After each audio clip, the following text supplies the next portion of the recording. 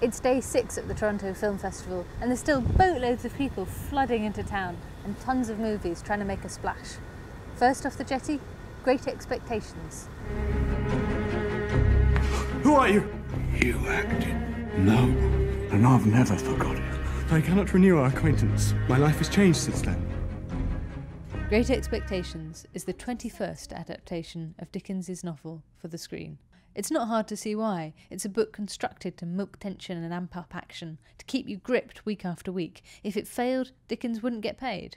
So it's really quite astonishing just how comprehensively Mike Newell has managed to flatline the cliffhangers. It's even more remarkable how boring the film is given the calibre of the cast. Helena Bonham Carter, playing Miss Havisham, actually looks slightly less batty than she does usually. Ralph Fiennes's Magwitch is authentically gamey and jowly, but he struggles against Jeremy Irvine's pretty boy foil. This is bowdlerized York Notes Dickens. No blood, no guts, just bones. It's nothing but a stupid labouring boy. What do you think of her? I think she's very pretty. Very proud. You can break his heart. There's a whole library full of classic novels being refloated at Toronto this year. Next up, What Maisie Knew, a modern take on Henry James's book. Margot is there. Wait a minute, the Margot who was at our house?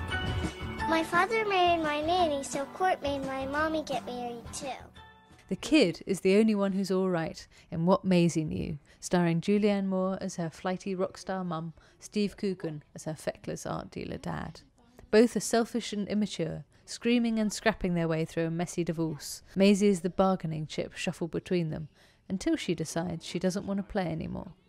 Directors Scott McGehee and David Siegel pitch their film perfectly. It's neither chirpy nor melodramatic, but it does capture the key emotion that kids like Maisie feel when caught between two warring parties utter confusion. What's funny? You are. Yeah, you are. You are. But it's not all GCSE set texts. Frances Ha is a new film about a hapless dancer flat hopping her way around New York.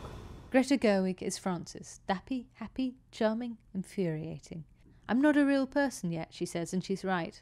Frances is unformed, and Gerwig does a great job of suggesting nascent maturity buried behind surface skittishness. Such subtlety is slightly undermined by Baumbach's smitten shooting style. Frances's life passes in glorious monochrome, perkily edited, perfectly composed, half woody, half mumblecore, always lovely.